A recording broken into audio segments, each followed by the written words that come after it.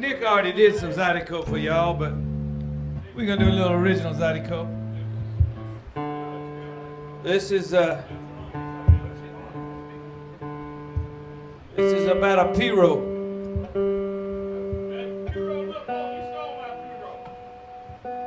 Yeah, but you stole mine before that. See?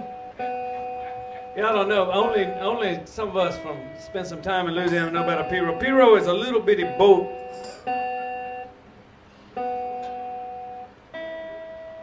You take it out in the marsh to check on your crab traps and shrimp traps, and now you gotta use it to lay oil boom, unfortunately. But hopefully BP paying double what I used to make catching shrimps. But uh, that's what a pirogue is. The thing about pirogue is you don't really own one. It's kind of like a, a big lighter or umbrella. You just kind of use it and then it goes away. But with any luck at all, you'll find Nick's pirogue out there somewhere. Use that.